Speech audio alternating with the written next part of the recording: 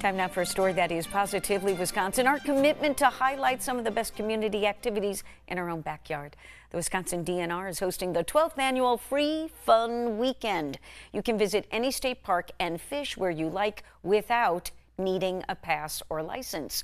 The free fun continues tomorrow in any of the 50 state parks and 84,000 miles of rivers and streams. I mean, hunting, fishing, uh, four wheeling, anything outside. Me and the kids, uh, we like doing it. So, I mean, if you're not outside, you're missing out. Just know that if you plan on going fishing, regulations such as length limits and species restrictions still apply.